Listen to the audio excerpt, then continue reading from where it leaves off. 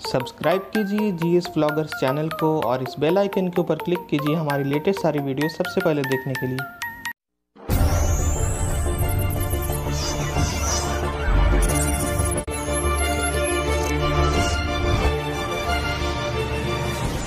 Hello दोस्तों, स्वागत है आप सभी का आपके इस YouTube channel G S vlogger में। दोस्तों, पिछली वीडियो में मैंने ईबीडी के बारे में बताया था। दोस्तों, वीडियो स्टार्ट करने से पहले आप लोगों से एक छोटी सी रिक्वेस्ट है। अगर आप लोगों ने अभी तक हमारे चैनल जी एस फ्लॉगर को सब्सक्राइब नहीं किया है तो इसे प्लीज़ सब्सक्राइब कीजिए, क्योंकि दोस्तों, सब्सक्राइब करना आपके लिए बिल्कुल ही फ्री है और सब्सक्राइब करने से हमारा हौसला बढ़ता है, हम और भी अच्छी वीडियोज़ बना पाते हैं। तो चलिए दोस्तों, आज की वीडियो की तरफ़ बढ़ते हैं। दोस्तों, आज की इस वीडियो में हम लोग जानेंगे कि कार्बोरेटर और फ्यूल इंजेक्टर में क्या डिफरेंस होता है। तो चलिए दोस्तों, शुरू करते हैं। दोस्तों, कार्बोरेटर हो या फ्यूल इंजेक्टर, दोनों का काम एक ही होता है। दोनों इंजन के सिलेंडर में ऑयल और एयर के मिक्सचर को सप्लाई करते हैं। दोस्तों कार्बोरेटर और फ्यूल इंजेक्टर दोनों सिर्फ़ पेट्रोल इंजन में ही यूज़ किए जाते हैं। डीजल इंजन में इसका कोई काम नहीं होता है। दोस्तों, अगर हम लोग बात कर ले कार्बोरेटर की तो कार्बोरेटर एक बहुत ही सिंपल मैकेनिज्म पे वर्क करता है। दोस्तों कार्बोरेटर सिर्फ़ एयर फ़िल्टर से एयर लेके और फ्यूल टैंक से ऑयल लेके उसकी मिक्सचर को इंजन के सिलेंडर में सप्लाई करता है। और दोस्तों, इस सप्लाई को हम लोग मैनुअली एडजस्ट भी कर सकते हैं। उसमें एक स्क्रू दिया रहता है, जिसे आप घुमा कर या फिर ढीला करके आप अपने थ्रॉटल रिस्पॉन्स को बढ़ा या फिर घटा सकते हैं। लेकिन इससे आपकी माइलेज इफ़ेक्ट करती है। अगर आप अपने थ्रॉटल रिस्पॉन्स को बढ़ाएँगे तो आपकी माइलेज कम हो जाएगी। और अगर आप अपने थ्रॉटल रिस्पॉन्स को घटाएँगे तो आपकी माइलेज बढ़ जाएगी। दोस्तों, अगर बात कर ले कार्बोरेटर की फ़ायदे की तो दोस्तों कार्बोरेटर बहुत ही ईजिली अवेलेबल होता है मार्केट्स में।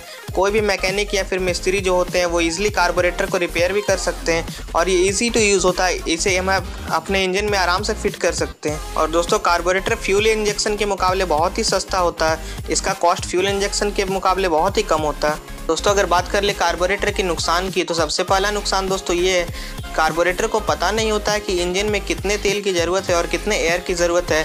वो बस एक फिक्स्ड क्वांटिटी में एयर और ऑयल की मिक्सचर को ही सप्लाई करता है। तो कार्बोरेटर का दूसरा नुकसान ये है कि इसमें हमारा जो फ्यूल होता है, वो पूरी तरीके से बर्न नहीं हो पाता है। हंड्रेड परसेंट इफिशियंसी की अगर बात करें तो कार्बोरेटर उसके लिए बिल्कुल भी सही नहीं होता है। दोस्तों, अगर तीसरे नुकसान की बात करें तो कार्बोरेटर में जो हमारा थ्रॉटल रिस्पॉन्स होता है, वो उतना अच्छा नहीं होता है। हम लोग जब भी थ्रॉटल को घुमाते हैं तो उसके कुछ देर बाद ही हमें पावर डिलीवरी मिल पाती है और हमारा जो गाड़ी है वो एक्सलरेट हो पाता है।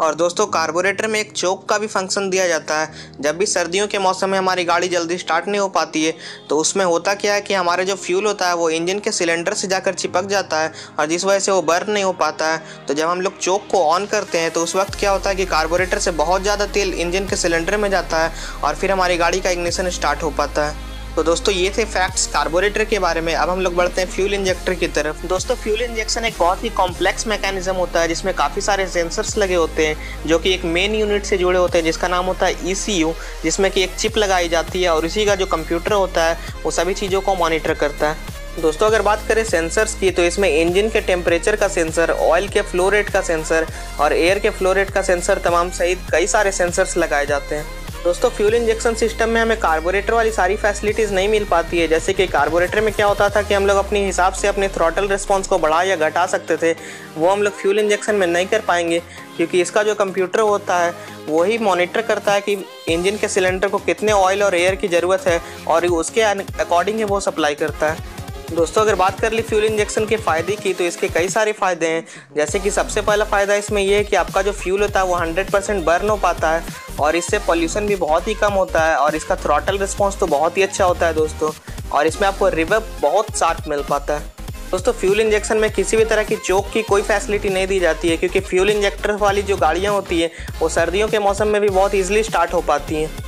दोस्तों, कार्बोरेटर में जो एयर और ऑयल की जो सप्लाई होती थी इंजन के सिलेंडर में, वो हर वक्त कांस्टेंट नहीं रहती थी, लेकिन फ्यूल इंजेक्शन के केस में वो हर वक्त एक जैसा रहता है। और इंजन के टेम्परेचर और ऑयल के फ्लो रेट के अकॉर्डिंग वो चेंज कर, दोस्तों, अगर बात करें फ्यूल इंजेक्टर के नुकसान की तो दोस्तों, सबसे पहला नुकसान इसमें ये है कि फ्यूल इंजेक्टर एक बहुत ही कॉम्प्लेक्स मैकेनिज्म है। कोई भी जो लोकल मैकेनिक होते हैं, वो इसको ईजिली रिपेयर नहीं कर पाते हैं।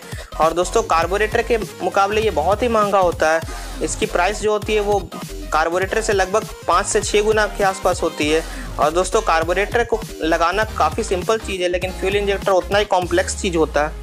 और दोस्तों मोस्ट ऑफ़ द केसेस में आपको आपके फ्यूल इंजेक्टर को टोटली रिप्लेस ही करना पड़ता है, क्योंकि वो रिपेयर नहीं हो पाता। है दोस्तों, अगर बात कर ले इसके दूसरे नुकसान की तो दोस्तों, फ्यूल इंजेक्टर टोटली सेंसर्स पे वर्क करता है। तो दोस्तों, अगर आपकी बाइक में या फिर आपकी गाड़ी में अगर इलेक्ट्रिसिटी की कुछ दिक्कत आ गई, मान लीजिए आपका बैटरी ख़राब होगा या आपका डायनेमो जो होता है वो ख़राब हो गया तो ये फ्यूल इंजेक्टर आपका वर्क नहीं कर पाएगा और आपकी गाड़ी चलने से ही फिर इनकार कर देगी, आपकी गाड़ी नहीं चल पाएगी। लेकिन दोस्तों, पहले के मुकाबले अभी फ्यूल इंजेक्टर्स वाली जो गाड़ियाँ हैं, थोड़ी सी सस्ती ज़रूर हुई हैं, क्योंकि अभी एक लाख के अंडर में भी आपको फ्यूल इंजेक्टर वाली बाइक देखने को मिल जाती है। दोस्तों, इस तरह से हर चीज़ के फ़ायदे और नुकसान तो होते ही है। अभी आप पर निर्भर करता है कि आप कौन सी गाड़ी खरीदते हैं, कार्बोरेटर वाली या फ्यूल इंजेक्टर वाली।